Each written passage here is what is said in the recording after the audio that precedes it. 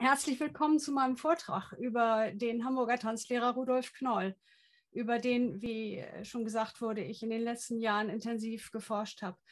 Also auch ganz herzlichen Dank äh, an den Verein für Hamburgische Geschichte dafür, dass ich Ihnen jetzt ein paar er Ergebnisse daraus präsentieren darf. Äh, ich möchte noch vorweg schicken, dass das meiste davon noch in Zusammenarbeit mit Frau Dr. Eva Zöllner entstanden ist, die sich inzwischen aber aus Zeitgründen völlig aus dem Projekt zurückgezogen hat. Ja, im Gedächtnis einer Stadt unter den großen Töchtern und Söhnen spielen Tanzlehrer und Ballettmeister meistens keine Rolle. Als Kunstform ist Tanz ja eine flüchtige Angelegenheit und Gesellschaftstanz ist der Mode sehr unterworfen. Die Erinnerungen an die Tanzstundenzeit der Großeltern, der Urgroßeltern verblassen und verschwinden mit ihnen irgendwann. In Hamburg ist das natürlich auch so. Aber ein Name fällt doch in Hamburg hin und wieder, nämlich der Name Knoll. Meistens geschieht das im Zusammenhang mit Thomas Mann, der nämlich seinen eigenen Tanzlehrer Rudolf Knoll in der Figur des François Knark in gleich zwei seiner Novellen verewigt hat, nämlich in Tonio Kröger und Wie Jappe und Do Escobar sich prügelten. Ähm, während man in äh, der Novelle Jappe ein eher differenziertes Bild der Person Knark bzw. Knoll äh, zeichnet, ist sie vielen doch heute nur so gegenwärtig, wie sie in Tonio Kröger aus der sehr spezifischen Perspektive eines mit sich selbst nicht im Reinen befindlichen männlichen Teenagers dargestellt wird, nämlich als eine Karikatur, als ein Stereotyp des affektierten, albernen, selbstverliebten Tanzlehrers so wie zum Beispiel äh, Theo Ling die Person François Knack auch in der Verfilmung von 1964 dargestellt hat. Ich möchte Ihnen heute aber diesen charismatischen und zu seiner Zeit wirklich sehr beliebten Künstler äh, und sein Wirken in unserer Heimatstadt in den 1880er Jahren bis zum Ersten Weltkrieg, also ziemlich genau in der wilhelminischen Zeit, näher bringen. Rudolf Knoll äh, wohnte und arbeitete hauptsächlich in Hamburg. Aber an dieser kleinen Karte kann man sehen, dass er auch äh, im Umland unterrichtet hat, also so zwischen Kiel und Lüneburg. Das war der Aktionsradius für seine Tanzkurse, nicht für andere Aktivitäten, die vielleicht die er auch noch äh, unternommen hat, auf die ich später noch komme.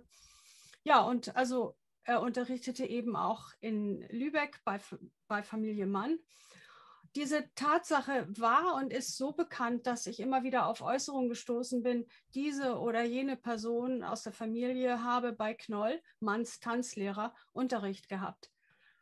Bei näherer Betrachtung ist das vom Zeitpunkt der fraglichen Tanzstunden her übrigens manchmal zweifelhaft, denn außer Rudolf waren auch sein Vater Albert sowie sein fast eine Generation jüngerer Bruder Eugen Tanzlehrer in Hamburg. Lauter Knolls. Und sie haben es geschafft, Knoll zu einem richtigen Markennamen, zum Inbegriff für Tanz- und Anstandsunterricht in Hamburg zu entwickeln. Und das sollte über Jahrzehnte so sein. Wie Thomas Mann und seine Schwester Julia in äh, Lübeck hatte auch in Hamburg die Jeunesse Doré in großer Zahl Unterricht bei Rudolf Knoll. Aber seine Bedeutung geht weit über diese Tanzstunden hinaus.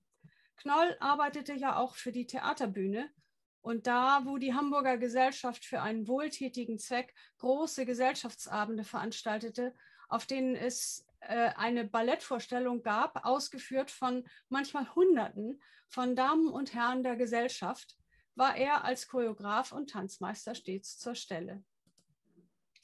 Er kooperierte dabei mit vielen der damals bekannten Hamburger Komponisten und eine besondere, heute völlig vergessene Bedeutung hatte Knoll für die Entwicklung der Berufsverbände seiner Zunft, der Tanzlehrer. Im Folgenden werde ich verschiedene Facetten seiner Tätigkeiten in Hamburg ein wenig beleuchten. Rudolf Knoll wurde am 10. Mai 1862 in Hamburg geboren. Seine Mutter Therese, geborene Reindl, war vor ihrer Ehe Schauspielerin gewesen und sein Vater Albert Knoll, 1832 in Breslau geboren, war ein hochangesehener Tänzer, Ballettmeister und Tanzlehrer. Und zunächst möchte ich noch ein paar Worte über Albert sagen. Nach seiner Ausbildung am Breslauer Stadttheater und einigen Lehr- und Wanderjahren mit einer reisenden Truppe von Tänzern und Akrobaten arbeitete Albert zunächst in seiner Heimatstadt, also Breslau, als Solotänzer, bis er dann 1858 als Ballettmeister und Solist ans Stadttheater, also den Vorläufer unserer heutigen Staatsoper, in Hamburg engagiert wurde. Es war damals übrigens äh, durchaus üblich, dass Ballettmeister und Tänzer neben der Arbeit am Theater auch Unterricht im Gesellschaftstanz gaben, also ganz normale Tanzstunden. Das hatte Albert auch schon in Breslau gemacht. So leitete Albert neben seiner Bühnentätigkeit nicht nur ein Tanz- und Anstandsinstitut in Hamburg, sondern unterrichtete auch noch exklusive private Zirkel für die Oberschicht in Hamburg, in Altona und in Lübeck, wie sein Sohn später auch. Albert und Therese Knoll hatten 14 Kinder, von denen tatsächlich die meisten das Erwachsenenalter erreichten. Rudolf war das dritte Kind und der äh, erste Sohn seiner Eltern. Sein jüngster Sohn war Eugen, geboren 1883, also 21 Jahre jünger, der dann nach Alberts Tod dessen Schule weiterführen sollte.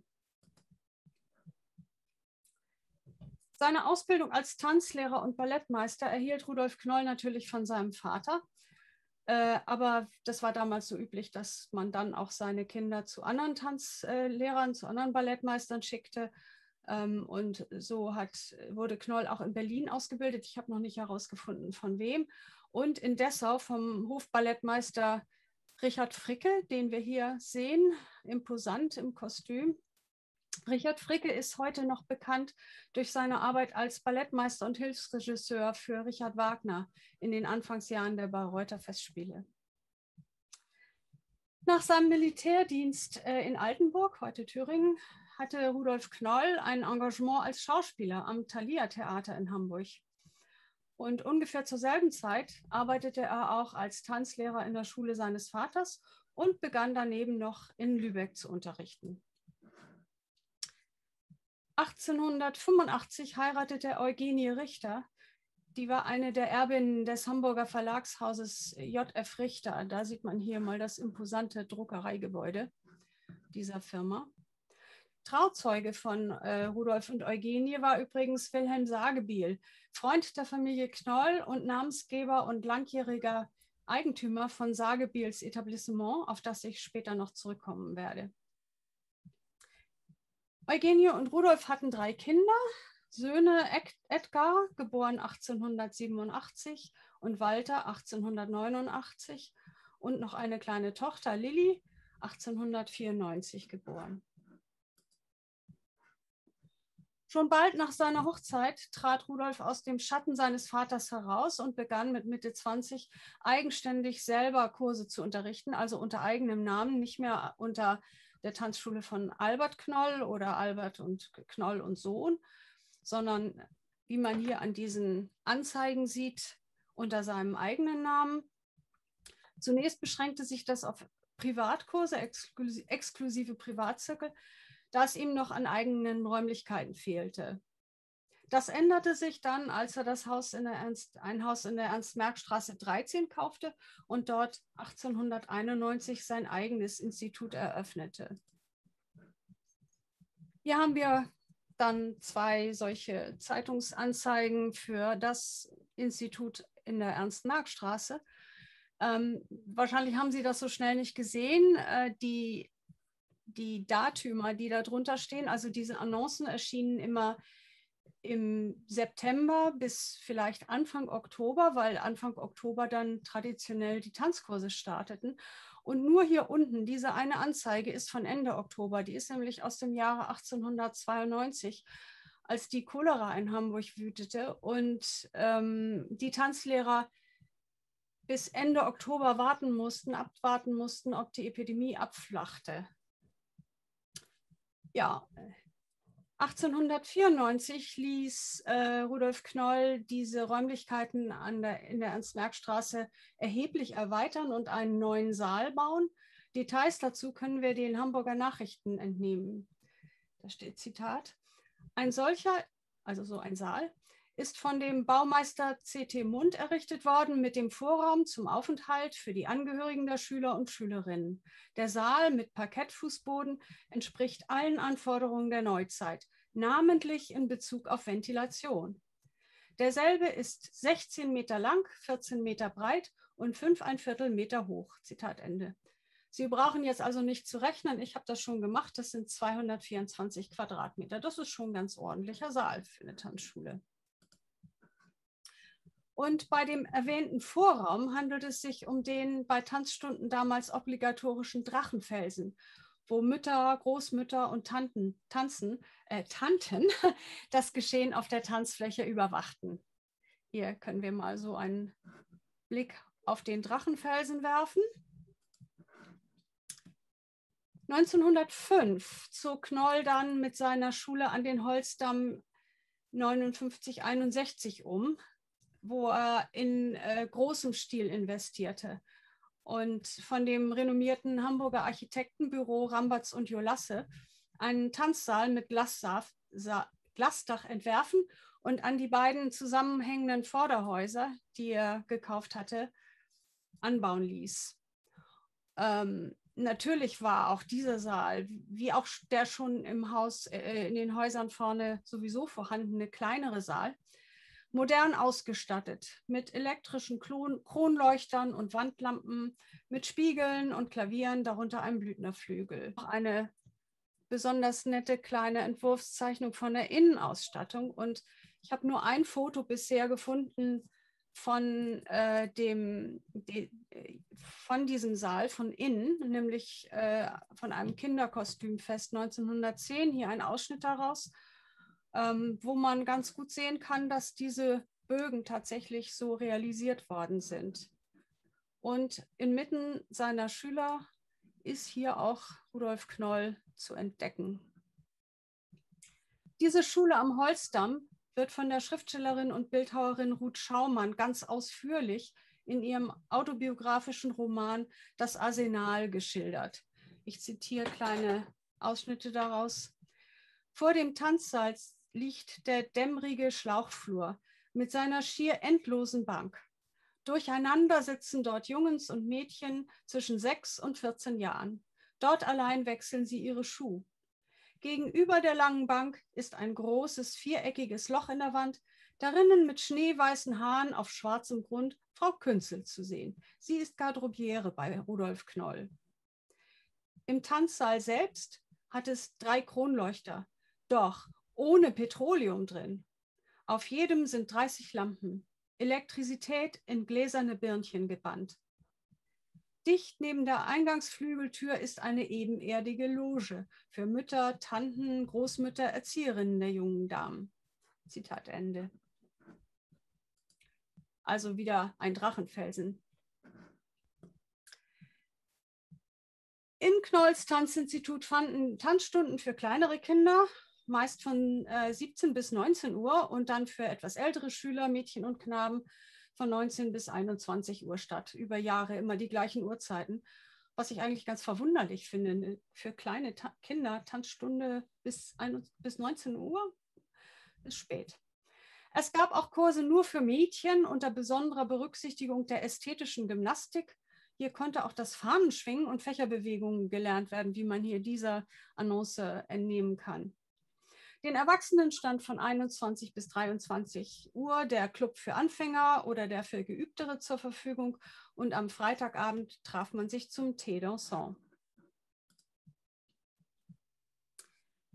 In dem Prospekt seiner Tanzschule heißt es, Zitat, mein Bestreben ist dahin gerichtet, die mir anvertrauten Schüler körperlich so weit auszubilden, dass sie sich frei und ungehindert in jeder Lebenslage bewegen können, ihren Körper ihrem Willen unterordnen lernen und jegliche durch Mangel an Selbstvertrauen hervorgerufene Unsicherheit und Befangenheit im gesellschaftlichen Verkehr verlieren. Das gründliche Erlernen des Tanzens ist daher nicht der Hauptzweck meines Unterrichts, sondern eines der mancherlei Mittel zur Erreichung des mir vorgesteckten Zieles, welches im Verein mit den verschiedensten ästhetisch-gymnastischen Übungen dazu dienen soll, den Schülern eine tadellose Haltung, einen elastischen, leichten, dabei doch sicheren Gang und anmutige, wohlgefällige Bewegungen beizubringen. Des Weiteren lege ich besonderen Wert auf die Ausführung vielfacher Anstandsübungen, sodass sich mein Unterricht im Großen und Ganzen zusammensetzt aus ästhetisch-gymnastischen Übungen, Anstandsübungen, Tanzübungen, welche sämtliche modernen Rund- und Figurentänze umfassen. Zitat Ende. Ihm ging es also mehr, äh, um mehr als einen Crashkurs für Benimmregeln und Walzertanzen. Insbesondere den Mädchen, die ja damals durch gesellschaftliche Zwänge in ihrer Bewegungsfreiheit ganz stark beschränkt waren, empfahl er zum Beispiel Turnübungen und diese gymnastischen Übungen. Und in Vorträgen plädiert er übrigens auch für die Abschaffung des Korsetts. Ein paar Worte zu dem von ihm erwähnten Tanzrepertoire. Rundtänze, das sind die Paartänze, die sich rund um die Tanzfläche bewegen, wie zum Beispiel äh, Walzer, Polka, Polka, Mazurka oder Redova. Hier sehen wir mal die korrekte Tanzhaltung aus einem zeitgenössischen Tanztraktat und man sieht, das ändert sich auch über die Zeit. Der Arm geht hier später ein bisschen höher, aber so sahen die Rundtänze aus. Oder es gab auch die unter die Rundtänze fielen auch die Modetänze der Jahrhundertwende, wie zum Beispiel die schmissige Washington Post mit ihrer charakteristischen Tanzhaltung, so hintereinander. Und die erwähnten Figurentänze, das waren Gruppentänze wie die Quadrille Française und der Lancier. Ähm, hier ein Titel, Notentitelblatt äh, mit einer Abbildung des Lancier. Man sieht hier das ist, war so ein Vierpaartanz. Also hier sieht man die vier Paare, die im Carré aufgestellt sind. Die Quadrille Française äh, wurde meist in Kolonnen getanzt und das ist das, was Sie vielleicht noch vielleicht mal gesehen haben. Das ist das, was die auf den Wiener Opernbällen zum Beispiel immer noch getanzt wird heute. Ja, wer betuchter war, ließ seine Kinder aber nicht in Knolls Tanzschule, sondern in Privatzirkeln von ihm unterrichten. Hier kostete dann ein Kurs 60 statt 50 Mark und es gab auch keine Geschwisterermäßigung. Für die Privatkurse, die reihum in den Elternhäusern der Tanzschüler stattfanden, räumten die Eltern dann ihren Salon leer und stellten ihr Klavier zur Verfügung. Und auch der obligatorische Abschlussball mit rotem und weißem Sprudel und jeder Menge Cotillon-Sträußchen für die jungen Damen wurde dann so in einem privaten Rahmen veranstaltet. Wie es im Unterricht hier und in seinen Privatzirkeln äh, zuging, wissen wir aus Tonio Kröger und einigen anderen autobiografischen Romanen, wie dem schon erwähnten von Ruth Schaumann, aus verschiedenen Lebenserinnerungen, aber auch von Rudolf Knoll selbst, der nämlich für die Zeitschrift Moderne Kunst eine Plauderei in der Tanzstunde verfasste, aus der diese ganzen ähm, Illustrationen von äh, Franz Müller-Münster stammen, die ich hier hier eingebunden habe. Und äh, auch diese Illustration ist äh, eine Illustration dieses, äh, dieses kleinen Zeitschriften, Zeitschriftenartikels von Rudolf Knoll. Und bezüglich dieses Bildes distanziert er sich sogar ein bisschen von dem Tanzlehrer, der da im Hintergrund so ein bisschen cholerisch guckt auf den äh, Tänzer, der vorne an seinen Walzer noch nicht so richtig äh, hinkriegte. Rudolf Knoll schreibt dazu, dass man Geduld haben müsse, dass es sozusagen noch jeder gelernt hat und gut Ding will Weile haben, schreibt er, das war, glaube ich, auch einer seiner Lieblingssprüche. Er selber muss wohl ein sehr geduldiger und freundlicher Tanzlehrer mit seinen Tanzschülern gewesen sein. Und er, er äh, versuchte die auch äh, zu amüsieren. Zum Gaudi seines pubertären Publikums führte Knoll in seinem Unterricht nämlich linkisches, unbeholfenes Verhalten immer wieder in kleinen pantomimischen Szenen vor. Immerhin war er nicht nur als Tänzer, sondern auch als Schauspieler ausgebildet. Der Reeder und Bankier Karl Vincent Krugmann amüsiert sich dabei sehr. Das schreibt in seinen Erinnerungen, Zitat, Rudolf Knoll liebte es, seinen Unterricht mit Späßen zu beleben. So pflegt er in übertriebener Weise zu zeigen, wie es aussieht, wenn ein junges Mädchen die Füße um die Stuhlbeine schlingt oder ein Junge einen Stuhl beim Tragen ungeschickt anfasst. Besondere Heiterkeit erregte es, wenn Knoll einen verlegenen, stotternden Jungen beim Vorstellen seiner Dame nachahmte. Auch wurde viel gelacht, wenn wir die Tanzfiguren der noch aus der galanten Zeit stammenden Gesellschaftstänze Française und Lancier in französischer Sprache ansagen mussten. Ja, neben den Privatzirkeln und den Kursen in seiner Tanzschule unterrichtete Knoll noch an verschiedenen Privatschulen, sodass einige seiner Schülerinnen gleich mehrfach bei ihm tanzten. Man sollte meinen, dass das schon genug an Beschäftigung war, aber in den Sommermonaten arbeitete Rudolf Knoll wie viele seiner Kollegen häufig noch als Maître de Plaisir an einem Badeort. Die Episode aus Travemünde, die Thomas Mann in Jappe schildert, ist nur ein Beispiel dafür. In anderen Jahren finden wir ihn zum Beispiel in Warnemünde oder auf Sylt, wo schon sein Vater Albert in den Sommerferien Tanzvorführungen organisiert hatte. Also hier die St Strandpromenade von Travemünde. Das ist der Ort, wo Jappe spielt, diese Novelle von Thomas Mann. Ja, während äh, Rudolf Knoll also noch an der See weilte, warteten die Hamburger dann offenbar schon, wie auf einen Zahnarzttermin, auf eine Dosis Benimität, wie es in dem Hamburger Schlüsselroman J.C. Rathmann und Sohn über Knolls Anstandsunterricht heißt. Denn er kündigte regelmäßig seine Rückkehr in der Zeitung an, in der Spalte unter all den Zahnärzten. Was ich etwas äh, kurios finde. Dadurch, dass die Mitglieder vieler Hamburger Familien schon bei einem von ihnen Tanz und Anstand gelernt hatten, waren die Knolls eine natürliche Wahl, wenn es darum ging, für größere private Anlässe Aufführungstänze einzustudieren. Das war ein beliebter Pro Programmpunkt bei Feiern in Hamburgs Oberschicht. Zum Beispiel erwähnt der Kaufmann Hermann Robino, Hermann Robino in seinen Tagebüchern eine größere Vorführung im März 1890 anlässlich des 80. Geburtstags seiner Mutter, bei der neben anderen Programmpunkten auch von Knoll einstudierte Tänze zu sehen waren. Ich vermute oder dass es sich hier tatsächlich um Rudolf Knoll gehandelt hat, aber es könnte genauso gut auch eigentlich sein Vater Albert gewesen sein, weil das ist wieder eine der Stellen, wo es nur Knoll heißt. Ähm, hier sehen Sie auf, der, äh, auf dieser Folie sehen Sie das Titelbild und einen Ausschnitt aus der Tanzbeschreibung von einem, einem Tanz von Rudolf Knoll. In diesem Fall eben ein Aufführungstanz für einige Damen, für fünf Damen. Erschienen im Theaterverlag Eduard Bloch. Der Theaterverlag Eduard Bloch äh, brachte hunderte von Tanzbeschreibungen heraus äh, von Rudolf Knoll und seinen Kollegen, gedacht im Wesentlichen für die Tanzlehrerschaft, weniger für das allgemeine Publikum. Da war meistens also vorne so ein schönes Titelbild, dann die Noten und dann die Tanzbeschreibung.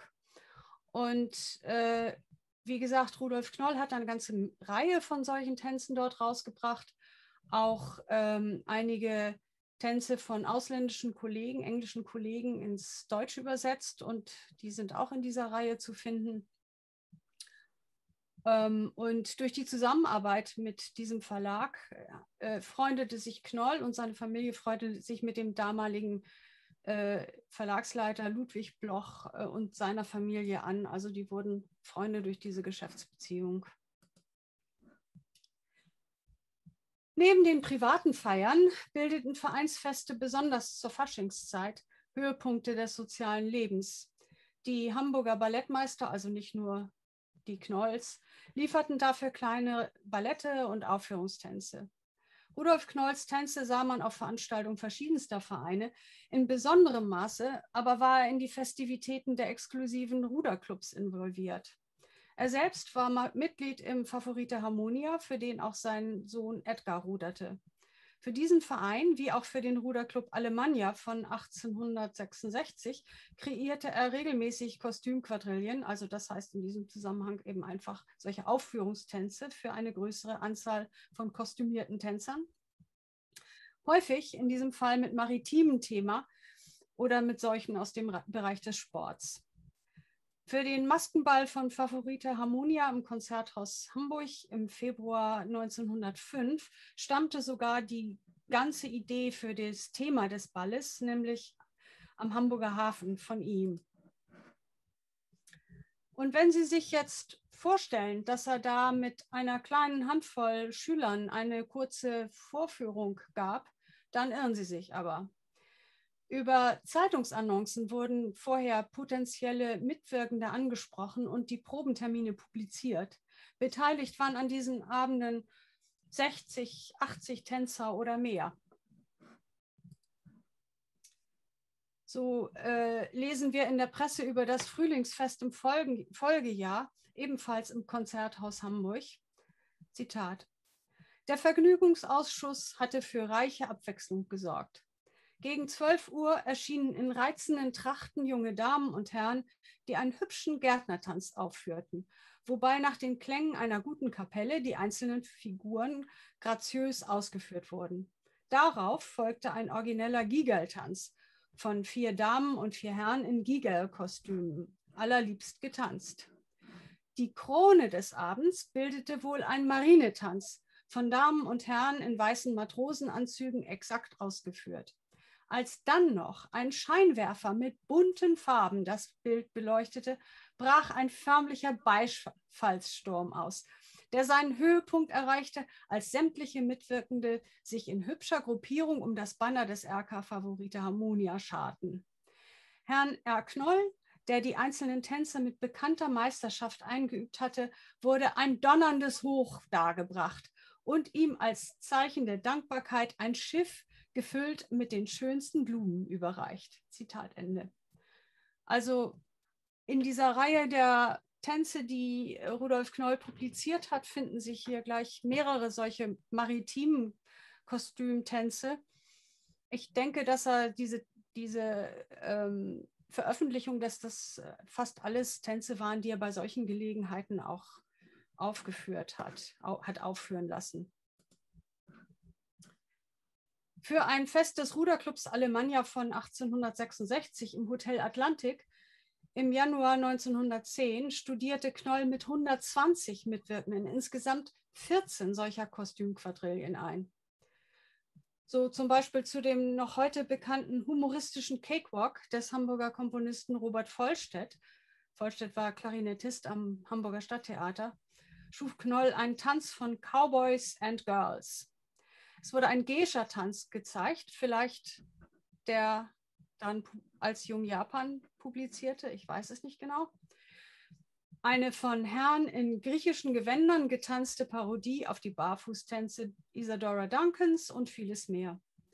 Ein Programmpunkt war eine Choreografie zu der Komposition Heideprinzesschen von Friedrich Eberle, der auch äh, an dem ganzen Abend der zuständige Kapellmeister war. Von den uns erhaltenen Choreografien Knolls gibt es neben dem Heideprinzesschen noch zwei weitere zur Musik von Friedrich Eberle. Eberle wurde, war in der Pfalz geboren worden und kam dann als junger Mann, als junger Musiker nach Hamburg und arbeitete hier als Theaterkapellmeister und Liederkomponist. Seinerzeit wurde er durch das Volkslied Ein Vöglein sang im Lindenbaum sehr bekannt. Ähm, heute hat das vielleicht noch der eine oder andere Gesangsverein im Repertoire. Weitaus, weitaus häufiger ähm, hat Knoll Kompositionen von Friedrichs Sohn, von Friedrichs Sohn Heinrich Eberle genutzt, der auch, Kapellmeister in, der auch Kapellmeister in Hamburg war und dessen kompositorisches Werk heute aber völlig vergessen ist. Heinrich Eberle war derjenige, der die Musik zum 1907 erschienenen Frühlingsbotenwalzer schrieb, äh, Knolls äh, größt, absolut größtem Hit. Dieser Tanz wurde in den Tanzschulen noch bis in die 1920er Jahre gelehrt. Hier sieht man nun mal so eine Tanzkarte von, von einer Tanzschule aus Essen von 1911, einfach nur zum Zeichen, dass dieser Frühlingsbotenwalzer wirklich äh, an vielen Orten unterrichtet wurde. Besonders beliebt war er, also der Frühlingsbotenwalzer, in den Niederlanden, wo man sogar versuchte, ihn 1950 wieder aufleben zu lassen. Die Berliner Schriftstellerin Selma Jaffe schreibt in ihrem immer wieder aufgelegten Buch Der Tanz im Selbstunterricht über diesen beliebten Tanz noch 1926, Zitat, seine Aufführung ist leicht und macht allen Tanzenden viel Vergnügen. Bei diesem Frühlingsbotenwalzer handelt es sich jetzt nicht um so einen Aufführungstanz, so eine Kostümquadrille und auch nicht um einen ganz gewöhnlichen Walzer, der einfach nur so um den Raum dreht, sondern das war, ist so eine Tanzform, die um die Jahrhundertwende sehr in Mode war, die in England noch als Sequence Dances äh, heute getanzt wird. Das waren Tänze, das war eine, eine bestimmte Musik, eine bestimmte Schrittfolge teilweise geschlossene Walzerdrehungen und teilweise trennte man sich, drehte die Dame alleine und machte noch irgendwelche anderen Figuren. Und die wurde so synchron von dem ganzen Saal äh, aller Tänzer getanzt. Die bewegten sich damit dann um die Tanzfläche herum. Und der macht tatsächlich Spaß, der Frühlingsbotenwalzer.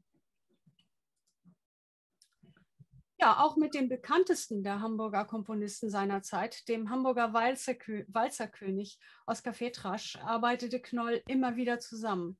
Aber da ging es um eine ganz andere Größenordnung. Rudolf Knoll war nämlich auch zur Stelle, wenn es um große Gesellschaftsabende für einen guten Zweck ging. In der Zeit vor dem Ersten Weltkrieg gab es in Hamburg regelmäßig verschiedenste aufwendige Benefizveranstaltungen zur Förderung diverser sozialer oder kultureller Belange. Festabende, Bälle, Basare. Äh, hier vergnügte sich die, vergnügte sich die obere, vergnügten sich die oberen 10.000 der Hamburger Gesellschaft. Das Sehen und Gesehenwerden verband sich mit einer offenen Geldbörse für den guten Zweck.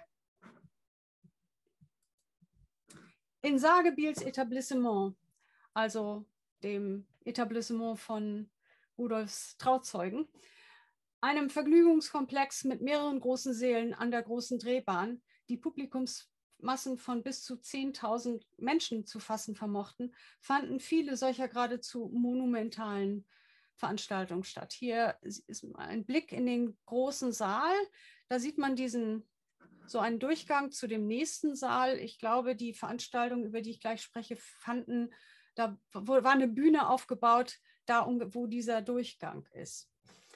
Ja, schade, dieser äh, Sagebiels Etablissement ist, ist dem Zweiten Weltkrieg zum Opfer gefallen, was ich natürlich ganz besonders bedauere, weil Hamburg nicht so reich an schönen alten Seelen ist, wo man historische Bälle veranstalten könnte. Ja, aber zurück zu, den, zu äh, Rudolf Knoll. Ähm, Zunächst möchte ich da die beiden Gesellschaftsabende des Vereins Hamburger Musikfreunde äh, im Januar 1898 und Januar 1899 nennen. Sie liefen nach dem gleichen Muster ab. Der Abend startete mit einer Operettenaufführung unter der Regie von Ludwig Max, auf den ich später noch zurückkommen werde. Dann folgte ein Ballett aus der Feder von Knoll und Fetrasch, die Veranstaltung endete dann mit einem Souper und anschließendem Ball, ein rauschendes Fest. Hier sieht man in diesem Fall dass, äh, die Ankündigung des Gesellschaftsabends äh, 1898. Der Operettenteil, das war ein Akt aus der Fledermaus. Und dann folgte diese historisch-choreografische Studie von Rudolf Knoll, das Tanzende Hamburg 1810 bis 1898 mit drei Bildern, die jeweils sozusagen drei Tanzszenen darstellten. 1813 ein Ball nach der Befreiung zu Ehren von General Tettenborn. Dann 1850 Leben und Treiben auf St. Pauli. Und dann sozusagen ein Sprung in die damalige Gegenwart, 1898, Polterabend in einem Hamburger Hause.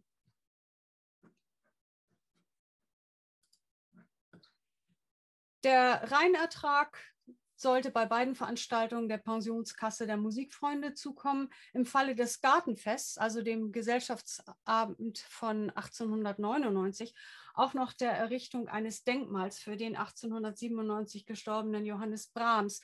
Hier, ich weiß nicht, ob Sie das äh, lesen können, hier steht äh, in der Vorankündigung, die baldige Errichtung des Standbildes unseres großen Mitbürgers Johannes Brahms ist geboten, damit andere Städte uns nicht zuvorkommen. Äh, tatsächlich sind, sollte es aber noch zehn Jahre dauern, bis die dann von Max Klinger äh, geschaffene Marmorskulptur von Brahms tatsächlich in der Leitzhalle aufgestellt werden konnte. Äh, äh, von Brahms, also des Brahms Brahms gewidmet. So. Ja, hier sieht man, ähm, der Operettenteil war der Mikado und dann folgte das Gartenfest bei Baron Vogt im Flottbecker Park, Park vor 100 Jahren. Parallel zu den Vorbereitungen für diese beiden Ballette, die ja beide lokalhistorische Themen behandelten, das Tanzende Hamburg nämlich in verschiedenen Epochen und ein Gartenfest bei Baron Vogt in Flottbeck vor 100 Jahren, organisierte Justus Brinkmann jeweils Sonderausstellungen im Museum für Kunst und Gewerbe, die den Hamburgern die in den Balletten dargestellten Epochen und deren Mode optisch näher bringen sollten. Die Organisation der Proben hatte Toni Petersen übernommen und bei buchstäblich Hunderten von Mitwirkenden war das bestimmt keine leichte Aufgabe.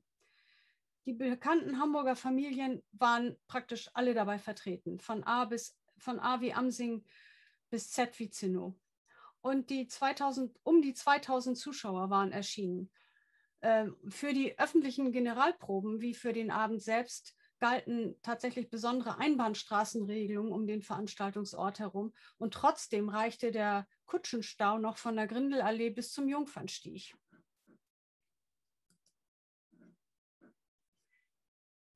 Die Menge der Darsteller veranlasste den Bürgermeister Dr. Johann Georg Mönckeberg zu der wenig schmeichelhaften Äußerung, es gab zu viele Tänze und überhaupt zu viele Menschen auf der Bühne, unter denen übrigens auch äh, Mönckebergs Sohn war. Die Kritiken in der Presse, nicht nur der lokalen Presse, waren hingegen enthusiastisch. So lesen wir im Berliner Tageblatt, Zitat, die vom Ballettmeister Rudolf Knoll arrangierten Tänze wurden von einem Flor hamburgischer Damen mit bewundernswerter Akkuratesse und Grazie ausgeführt. Auch Herren der goldenen Jugend Hamburgs leisteten Vorzügliches. Jubelnder Beifall folgte allen Vorführungen. Bankett und Ball schlossen das eigenartige Fest, das für den Kunstsinn Hamburgs sowie für dessen Reichtum ein großartiges Zeugnis ablegte. Zitat Ende. Bei der Veranstaltung von 1899, also dem Gartenfest, ging es aber nicht nur um Kunstsinn und Reichtum, sondern dieser Abend wurde auch vorbereitet durch zahllose Zeitungs- oder eine ganze Zeitungsartikelserie zum Leben von Caspar Vogt, sowie ähm, natürlich auch wieder die Ausstellung im Museum. Und diese, diese ganze Aktion mit Ausstellung und Zeitungsartikeln und Gesellschaftsabend brachte den damals ganz vergessenen Flottbecker Sozialreformer und dessen Freundeskreis überhaupt erst wieder in das Hamburger Bewusstsein. Also während dieser Ausstellung während die lief, kramten alle Hamburger Familien nochmal irgendwie in ihren, äh, bei sich zu Hause und fanden noch Bilder, die in den Zusammenhang äh, gehörten und brachten die zum Museum und äh, die wurden dann, diese Ausstellung wurde also im Laufe ähm, der Zeit immer größer und größer, weil immer mehr und mehr Bilder auftauchten. Ja, und als äh, besonderer Clou wurden viele der historischen Persönlichkeiten durch ihre eigenen Nachfahren dargestellt. Das sieht man hier. Äh, aus, die sind Auszüge aus der endlos langen Besetzungsliste. Das waren fast 500 Mitwirkende. Bürgermeister Martin Galib Sillem, dargestellt von Herrn Karl Sillem. Frau Bürgermeister Sillem, Sillem dargestellt von Frau Karl Sillem. Senator Wilhelm Amsing, dargestellt von Herrn Dr. Cäsar Amsing und so weiter. Also das äh, betrifft ganz viele von diesen Mitwirkenden. In den Folgejahren gab es weit, zwar weitere Gesellschafts-, große Gesellschaftsabende bei Sagebiel, bei denen sich das Gespann Knoll und Fetrasch bewährte. Ich möchte davon aber nicht alle aufzählen, sondern nur einige wenige kurz erwähnen. So die Wohltätigkeitsaufführung am 8.4.1902 äh, zum Besten der Ferienkolonien armer und kranker Kinder der katholischen Gemeindeschulen, nämlich mit der Burleske Liebe, Liebe schafft Rat aus der Feder und unter der Regie des Schauspielers Karl Wagner. Hier sieht man Karl Wagner und darunter Rudolf Knoll und den Komponisten Fetrasch. Das Hamburger Fremdenblatt schrieb dazu, Zitat, Karl Wagner, Oskar Fetrasch, Rudolf Knoll, wo dieses Trifolium zusammenarbeitet, wo diese drei unumschränkten Herrscher im Reich, Reich Thaliens, Apolls und Terpsichorens sich zusammentun, um ihre Kunst in den Dienst einer guten Sache zu stellen, da müsste es ja merkwürdig zugehen, wenn nicht ein Werk entstände, das den berühmten Ausspruch Ben Akibas wirklich Lügen straft. So war es dann auch in der Tat. Das Künstlerkleeblatt hatte uns ein Fest geschaffen, das sich den Besten würdig an die Seite stellen kann. Und das ist nicht, ihnen nicht gerade leicht gemacht worden. Man denke nur, 250 Personen als Dilettanten in verhältnismäßig kurzer Zeit zu Schauspielern und prima Ballerinen zu machen und aus ihnen ein Ensemble zu bilden. Trotz aller Schwierigkeiten aber ist den genialen Künstlern der große Wurf gelungen. Zitat Ende. Also der, der Ausspruch Ben Akibas ist alles schon mal da gewesen. Wenn man das, ich wusste das vorher auch nicht. Das Festspiel Das Deutsche Volkslied in Bild und Tanz studierten Knoll und Fetrasch sogar mehrfach ein. 1904 kam es der Zentralbibliothek für Blinde zugute und 1909 ging es um die Gründung eines Heims für Musiklehrerinnen. Eine weitere Veranstaltung möchte ich auch noch erwähnen, nämlich einen Gesellschaft, Gesellschaftsabend der Gesellschaft zur Förderung der Amateurfotografie am 17.11.1906 im Hamburger Hof. Also eine kleine, eher familiäre Angelegenheit. Nicht zu vergleichen mit diesen Sagebiel-Dingern. Es gab ein gemischtes Programm in musikalischen Beiträgen, Gedichtrezitationen etc. Für uns ist es aber schön, dass hier nicht nur Rudolf Knoll drei Tanzszenen einstudiert hatte, sondern dass der bekannte Fotograf Rudolf Dürkob von diesen am Vorabend bei einer Probe schon Fotos hergestellt hat. Hier sehen wir diese drei Tanzszenen, Pierrot und Columbine, äh, Tanzduette und Rokoko-Duett. Auf diesen Bildern fehlt nur Ferdinand Haller, der Sohn Martin Hallers, der bei den Tanzduetten mit, mitwirkte da. Wir sehen da nur seine Tanzpartnerin. Der Schluss dieses äh, Programms weckt nun aber mein ganz besonderes Interesse.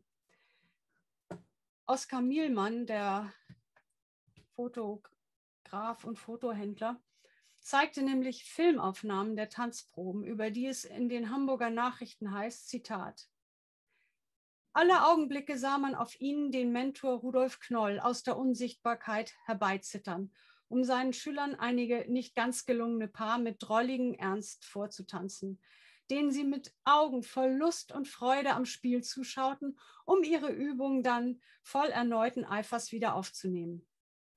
Wie konnte man angesichts dieser lebensvollen kinematografischen Aufnahmen bedauern, dass Edinson nicht einige Jahrhunderte früher gelebt?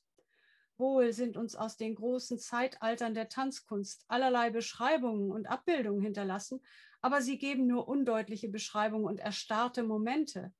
Die Bewegung selbst, den eigentlichen Reiz der Rhythmik herzustellen, bleibt einzig unserer Fantasie überlassen.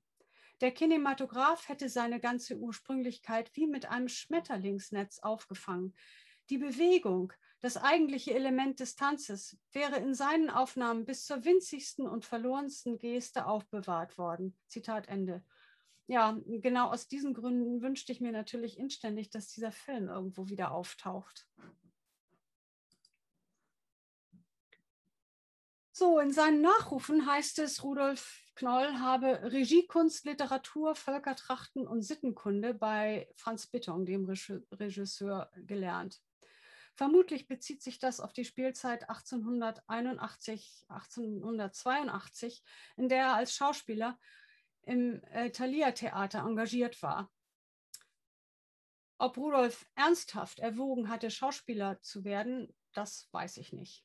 Auf jeden Fall aber sollte er mit einigen der Kollegen auf diesen Brettern sein ganzes Bühnenleben lang zusammenarbeiten. So Ludwig Max, dem wir schon im Zusammenhang mit den großen Gesellschaftsabenden begegnet sind. Hier sieht man einen Theaterzettel, wo man, wo hier Herr Knoll und Herr Max beide auftauchen. Max, Ludwig Max, war einer der populärsten Hamburger Schauspieler seiner Zeit. Knoll äh, blieb dem äh, Thalia-Theater jahrelang verbunden. In den 1890er Jahren arbeitete er weiter für diese Bühne. So choreografierte er für die alljährlichen opulenten Weihnachtsmärchen, deren Bedeutung für die Unterhaltungskultur eine ganz andere war als heute. Kinder waren nämlich nicht deren einzige Zielgruppe, sondern auch die Erwachsenen schätzten die unterhaltsamen und irre, aufwendigen, irre aufwendig inszenierten Spektakel. Die Hamburger Nachrichten schrieben im Dezember 1893 angesichts dessen, dass bis auf das Stadt Altonaer Stadttheater, hier gab es Nathan der Weise, alle Hamburger Theater nur Weihnachtsmärchen zeigten. Zitat. Dass aber die hamburgischen Märchenaufführungen ihr Publikum durchaus nicht nur aus der Kinderstube holen, weiß jedermann. Wenn es in der großen Menge der Erschienenen auch nicht an Kindern fehlte, so saßen die doch nur zerstreut, etwa wie die Rosinen in dem von einer sparsamen Hausfrau gebackenen Kuchen. Das Gros der Besucher war aus Erwachsenen zusammengesetzt und auch der immer und immer aufs Neue wieder losdonnernde Beifall ging von Erwachsenen aus. Zitat Ende. Über die Inszenierung selber, nämlich das Aschenbrödel am Thalia Theater, erfahren wir unter anderem, Zitat, dass Tanz und Ballett in der Welt, dem auch dieses liebenswürdige Märchen angehört, eine große Rolle spielen, bedarf wohl keiner besonderen Versicherung. Denn wenn nicht tanzen, was sollen die guten Leute in dieser lustigsten aller Märchenwelten tun? Und so hatte die Direktion denn auch für eine stattliche Schar ballettfähiger Wesen gesorgt. Neben verschiedenen hausangehörigen Damen waren 16 Figurantinnen und 80 Kinder aufgeboten und ein erprobter Meister der Tanzkunst, Herr Rudolf Knoll Junior, für die Auswahl und Einübung der Tänze verpflichtet worden. Herr Knoll bewährte sich denn auch auf das Allerbeste. Die von ihm einstudierten Tänze gefielen ausnehmend, Ganz besonders aber die Gavotte-Quadrille, die auch schon im Hinblick darauf, dass Herr Knoll sie kürzlich in Berlin vor dem Kaiser getanzt, sozusagen als der Knoll-Effekt unter den in Aschenbrödel vorkommenden Tänzen besonders interessierte. Zitat Ende. Und hier sieht man mal ähm, das Titelbild der, dieser erwähnten Gavotte-Quadrille. Das war ein Tanz, den die deutschen Tanzlehrer versuchten, wieder in Mode und beim Kaiserhof unterzubringen. Und ein kleines, äh, eine, kleine, eine kleine Illustration daraus. So sah das dann also auch auf der Bühne im Thalia Theater aus. Dass Knoll die Theaterarbeit nicht als Nebenjob betrachtete, sondern dass sein Herzblut auch daran hing, zeigte sich daran, dass er zusammen mit Ludwig Max in den 1890er Jahren sogar an der Neugründung eines Theaters arbeitete. Hamburg brauchte damals irgendwie ein neues Sprechtheater. Auch wenn die Pläne der beiden so nicht umgesetzt wurden, sorgte dann wenig später eine Aktiengesellschaft dafür, dass sich 19, im Jahre 1900 dann die Türen des Deutschen Schauspielhauses an der Kirchenallee öffneten. Und Knoll wurde der, natürlich der erste Ballettmeister des neu eröffneten Theaters und wie man hier vielleicht an diesem Ausriss äh, aus einem Programmzettel sieht, er wurde hier auch als Regisseur mit aufgelistet. Hier sehen wir Knoll im, zusammen mit seinen Schauspielhauskollegen, hier unten ist er zu sehen.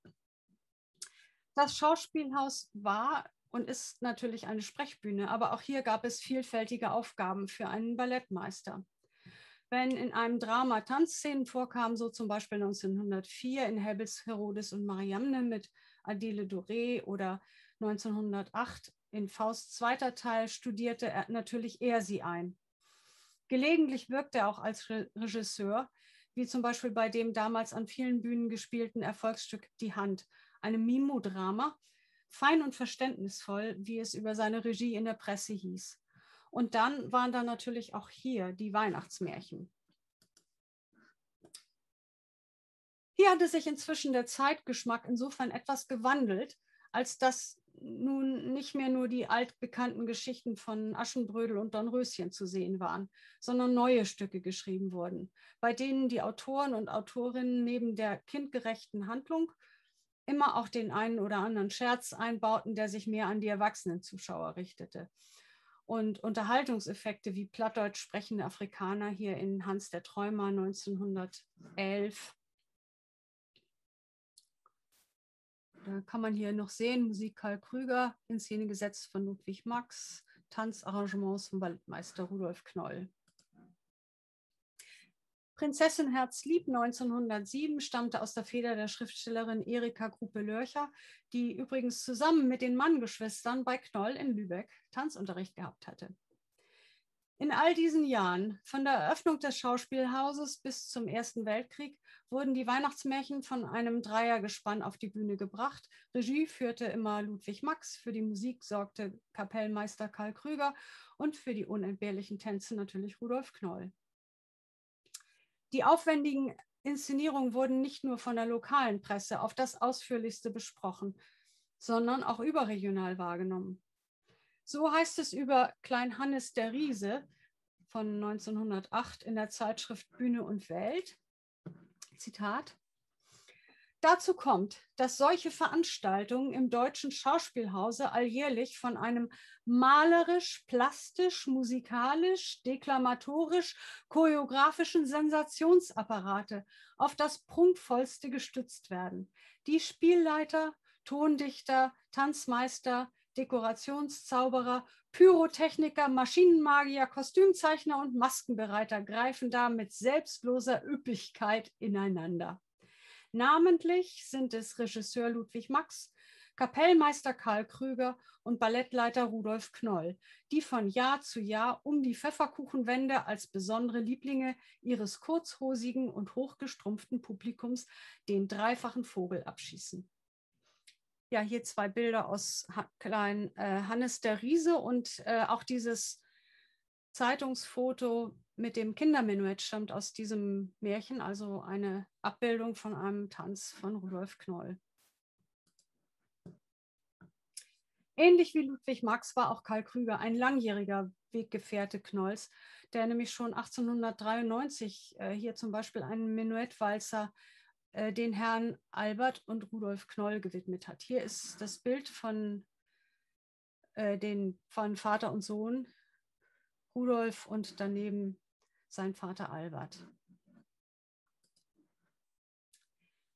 Die zahlreichen lobenden Zeitungsartikel über Knolls Vorführtänze, Ballette und Bühnenchoreografien lassen uns die Qualität seiner Arbeit erahnen und wir haben auch schon gesehen, wie rastlos fleißig er gewesen sein muss.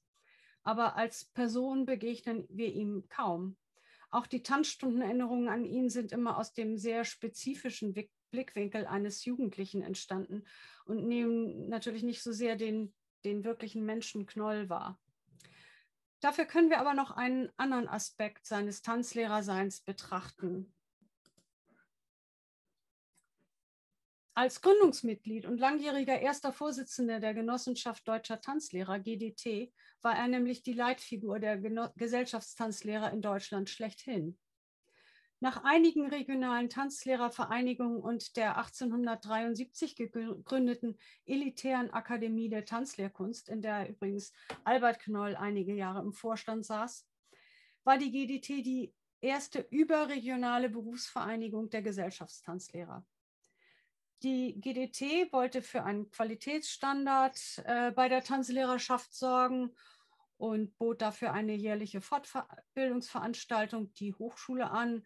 Es gab eine Unterstützungskasse, Petitionen an den Reichstag, Wettbewerbs- und urheberrechtliche Auseinandersetzungen, unter anderem übrigens mehrfach mit dem Hamburger Kollegen Rudolf, Rudolfs Hamburger Kollegen Hugo Florenz de Queen.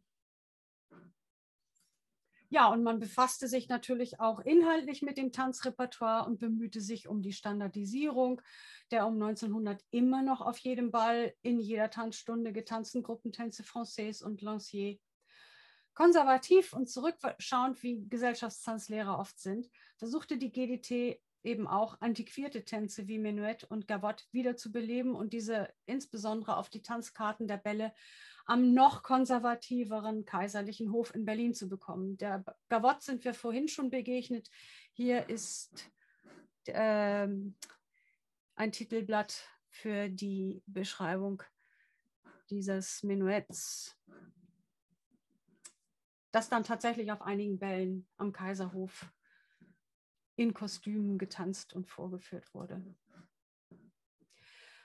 Knoll initiierte auch die Gründung eines Dachverbandes, nämlich des Internationalen Verbandes der Tanzlehrervereine 1908 und wurde sofort auch zu dessen Präsidenten gewählt.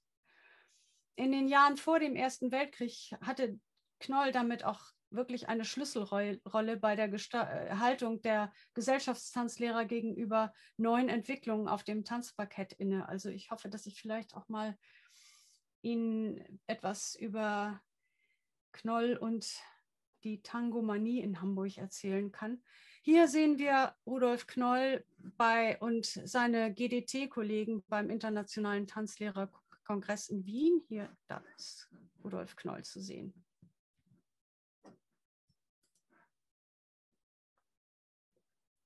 Sein französischer Kollege Giraudet schreibt über die deutsche Tanzlehrerschaft, Zitat, die Deutschen sind hervorragend organisiert und der Tanz wird militärisch geführt. Man hört ohne Diskussion auf Herrn Knoll, den Präsidenten der deutschen Tanzmeister. Zitat Ende. In seiner Branche überaus hoch angesehen wurde er von zahlreichen anderen Verbänden seiner Zunft zum Ehrenmitglied ernannt, angefangen vom lokalen Verein Berliner Tanzlehrer bis hin zur American National Association Masters of Dancing of the US and Canada.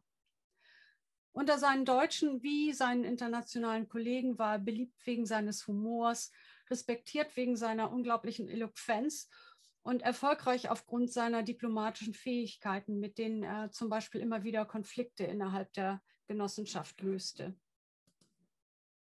Und so lernen wir Knoll nun auch ein bisschen besser kennen. So heißt es aus seinem Kollegenkreis über ihn, er hat doch eine eigene Gabe zum Reden, wie ihm das vom Munde fließt. Na, wir kennen ihn ja. Hier sehen wir ihn übrigens im Kreis äh, wieder seiner Kollegen. Das heißt, hier ist äh, Rudolf Knoll und mit hellem Hut sein Vater Albert zu sehen bei einem Ausflug. In der Verbandszeitschrift der Tanzlehrer lesen wir immer wieder kleine humoristische Beiträge aus seiner Feder. Er hatte offensichtlich einfach Spaß daran. Für die Zeitung übersetzt er auch Artikel seiner französischen und englischen Kollegen ins Deutsche und er fungierte bei Besuchen britischer Tanzkongresse als Führer und Dolmetscher seiner nicht so sprachbegabten deutschen Verbandsgenossen. Wie beliebt er war, zeigte sich auch bei der Vorstandswahl 1910, wo er sich ziemlich lange bitten ließ, als erster Vorsitzender weiterzumachen. Auf denen dann zum Teil sogar mit Herzchen verzierten Stimmzettel waren Dinge zu lesen wie Hoch Knoll, Rudi, Knoll, du musst.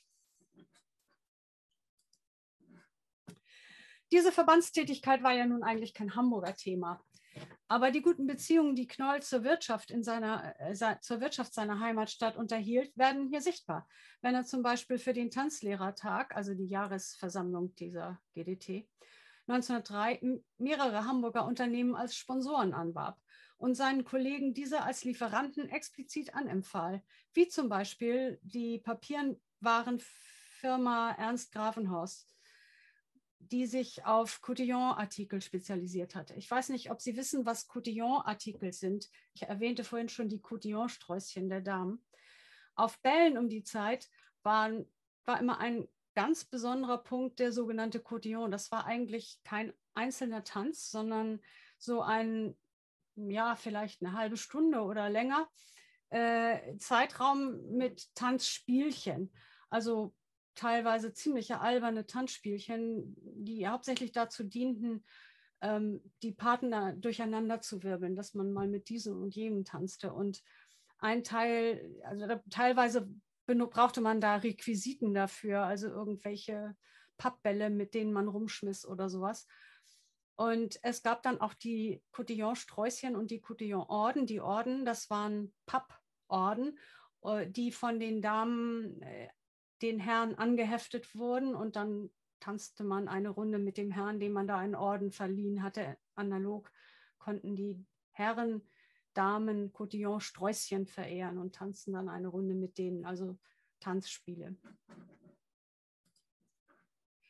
Ja, leider endete Rudolf Knolls Leben viel zu früh. Nachdem sein Sohn Walter gleich zu Beginn des Ersten Weltkrieges gefallen war, meldete sich Rudolf schon in den 50ern im Juni 1915 als Kriegsfreiwilliger, obwohl er zu dem Zeitpunkt bereits an gesundheitlichen Problemen litt. Doch er sollte auch nicht lange dienen. Hier sehen wir ihn mal in Uniform. Ziemlich erschreckendes Bild, finde ich irgendwie. Nach einem Granatenschock Schock in den Schützengräben an der Westfront wurde er am 30. Dezember 1915 in ein Militärhospital in Dresden eingeliefert, wo er nur zwei Tage später verstarb. Dann sein zweiter Sohn Edgar, der fiel dann auch im November 1916. Nur Tochter Lilly und Ehefrau Eugenie überlebten also von der engeren Familie den Ersten Weltkrieg.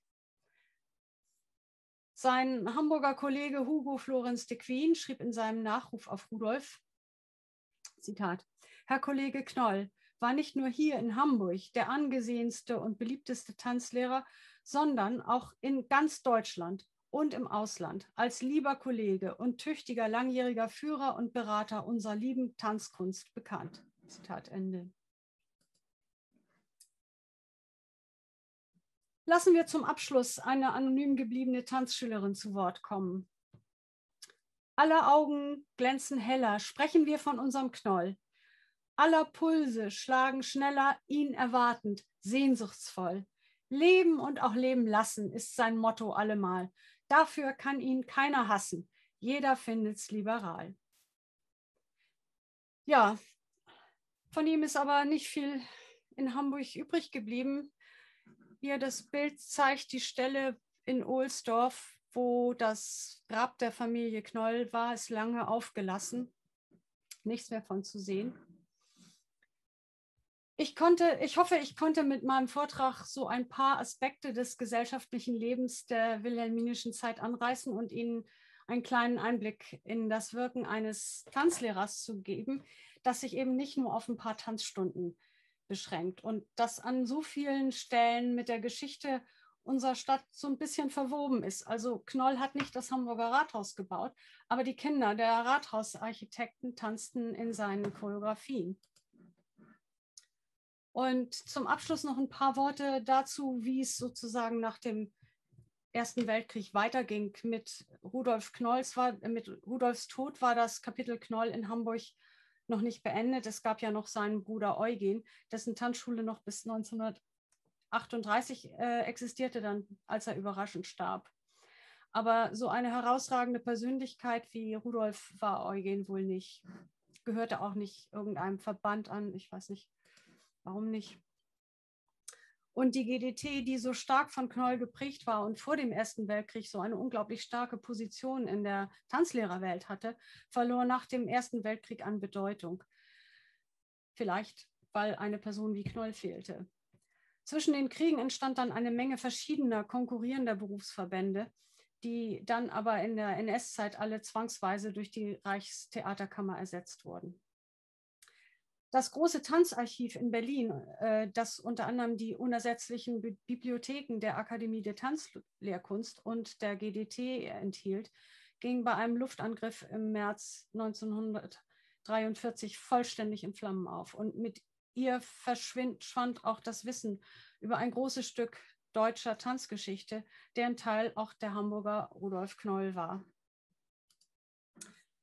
Ja, das ist das Ende meines Vortrags. Vielen Dank, dass Sie mir so geduldig zugehört haben.